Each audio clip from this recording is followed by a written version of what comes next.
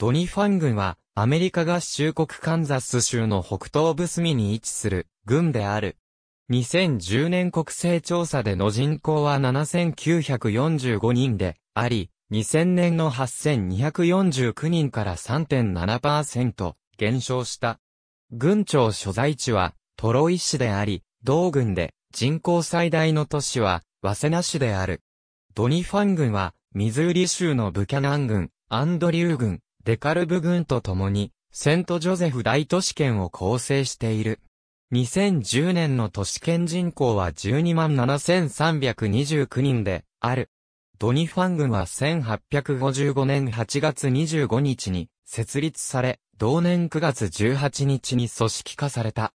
軍名は、ミズーリ州リバティ出身のアメリカ騎兵隊長で、米北戦争では重要な役割を果たしたアレクサンダー W. ドニファン大佐にちなんで名付けられた。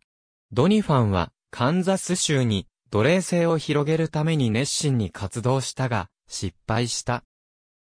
ドニファン軍は3つの選挙区からそれぞれ1人選ばれた軍政委員会によって統治されている。軍政委員の任期は4年間であり、第2及び第3選挙区の委員は第1選挙区の委員と2年ずらして選挙される。委員会は、軍の政策、手続き、予算に責任があることに加え、道路や橋の機能を監督している。さらに、選挙委員会を兼ねており、選挙での投票を監視する。軍には、包括的計画と、用途地域法がある。都市は、市長と、市政委員会によって統治されている。政府の収入は、消費税、資産税及び重課税を財源にしている。1986年にカンザス州憲法が修正されて、個人がたしなむアルコールの販売を、軍の住民投票で承認すれば認めることになったが、ドニファン軍は現在でもアルコールを禁じる、すなわち、ドライの軍のままである。ドニファン軍は、大統領選挙で、過去13回、またおそらく修正率以来共和党候補を選んできた。最近の4回を見ると、共和党候補が総投票数の60%以上を獲得してきた。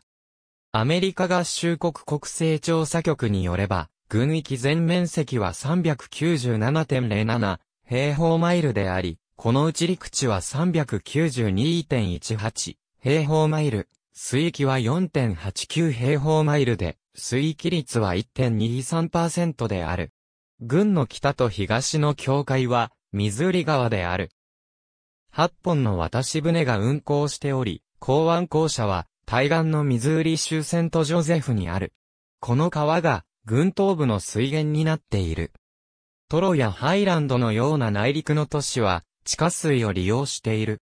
ウルフ川が、軍西部を流れ、北部でミズーリ川に合流している。